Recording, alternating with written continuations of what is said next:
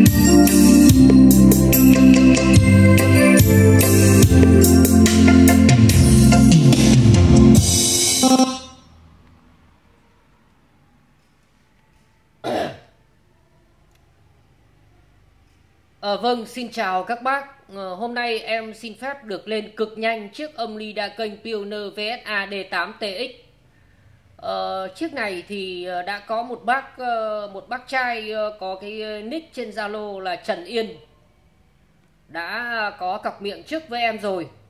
Ở trong buổi chiều hôm nay em cũng đã gửi ảnh sơ qua để cho bác ấy nhìn thấy rồi. Có thể nói chiếc này gần như là đã của bác ờ, là của bác Trần Yên rồi. Em chỉ có quay để cho các bác để cho bác Yên được nhìn rõ hơn cái chiếc âm ly của bác ấy thôi. À, đây là nắp lưng.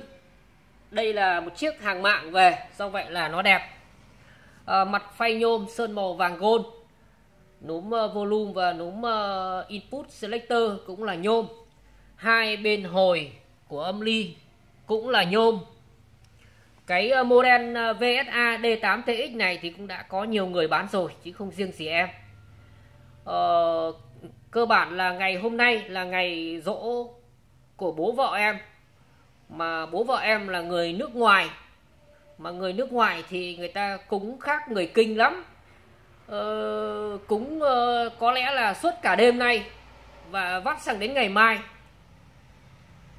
Ờ, rất hoảng hồn các bác ạ. À. em sợ kiểu cúng đó lắm mà sau khi làm xong cái video này là em phải ờ, đến nhà bên đằng vợ nhà em ngay. Không là người ta lại dị nghị, người ta lại cho rằng là có cái thằng con rẻ mà tham tiền đến mức độ dỗ bố vợ mà vẫn không chịu vào.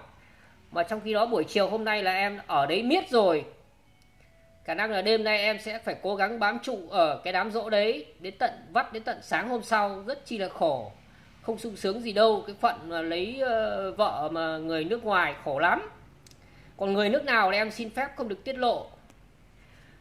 Uh, xin mời bác yên vào uh, xem video.